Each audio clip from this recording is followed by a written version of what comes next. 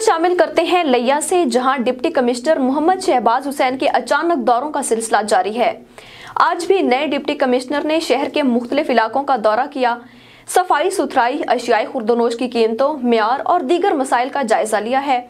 सब्जियों के नाकिस म्यार और गिरा फरोशी पर शदीद बरहमी का इजहार किया है।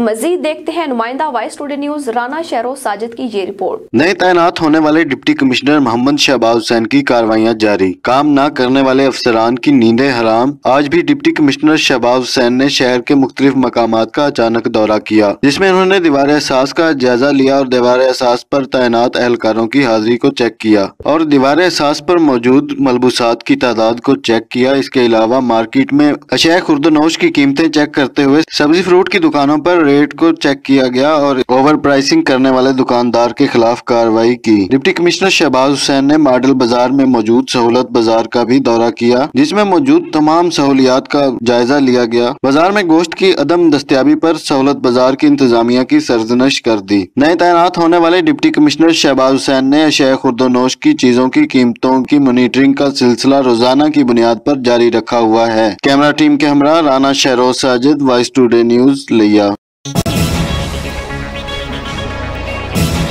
ताज़ा तरीन अपडेट्स हासिल करने के लिए हमारे चैनल वॉइस टूडे न्यूज़ को सब्सक्राइब करें और साथ में दिए गए बेल आइकॉन के बटन को दबाना मत भूलिए।